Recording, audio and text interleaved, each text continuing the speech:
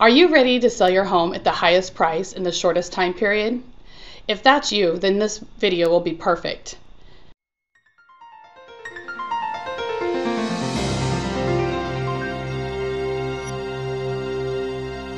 Hi, I'm Lori Little of the Lori's and Company, your realtors, your neighbors, your friends. And today I'm going to talk to you a little bit about a couple things you can do to get the highest price for your home in the shortest time period.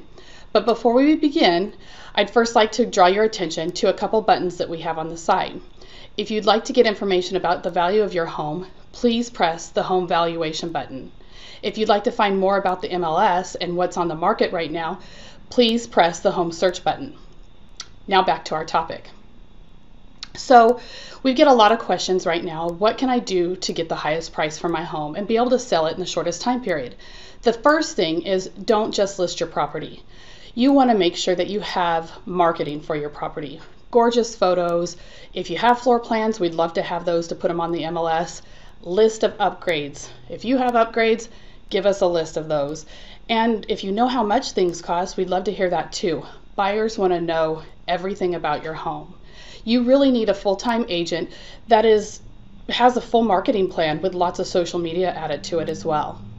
The second thing I would say is don't test the market. We don't live in a time where you put the home on the highest price and just hope you get an offer. Right now, what we're seeing is price it right. You have the potential to get multiple offers. Talk to your realtor, find a pricing strategy that works best for you. And then the final thing I would say is stage your home. Staging could be a full staging, it could be a partial, or it could be just a decluttering of the property. Um, make sure it's very clean, clean, clean, clean. Paint the walls if you need to. Don't have really vibrant colors. Have the lights on when people come through and make sure you have good curb appeal. We're competing with new home construction today out in the resale world, so we want to make sure that we pay attention to that. So those are the three things I would suggest to get your home um, at the highest price in the shortest time period.